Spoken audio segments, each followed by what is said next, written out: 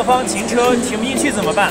这台车子可以直接把轮子横过来，径直开进去。我现在是在2024北京科技周的活动现场，在首钢园两千多平方米的展区内，信息技术、医药健康、智能制造等多个领域的新技术成果在这里集中亮相。在大城市这种交通拥拥堵的情况下，侧方停车很不方便。我们这个底盘它可以原地旋转和横行，它对司机非常的友好。当我们侧方停车的时候，我们可以打到横行模式，一把就可以过去。然后我们这个底盘呢，它还通过了线控转向，取消了中间的传动机构。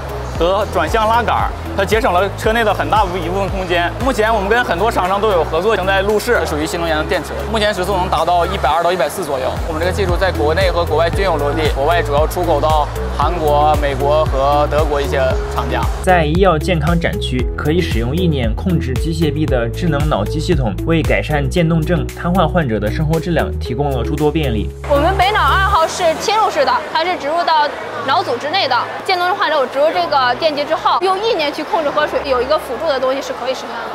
比如有一个接臂，抓取一个水杯，可以为自己喝水或者为自己吃饭。人的大脑是很复杂的，有很多的神经元的信号，我们就要捕捉一个特定的一个信号才可以。所以说解码上是非常困难的。我们也是需要说后续再进行大批量的这种实验研究。3D 打印在我们的日常生活中已经有了广泛的应用。在我身后的展台，4D 打印几个字儿非常引人注目。4D 技术比 3D 升级在哪里？我们一起去近距离观察一下。4D 打打印呢，它比 3D 打印多的是能够在外界刺激下进行响应的这个维度。这是 4D 打印的一个太阳翼的一个结构。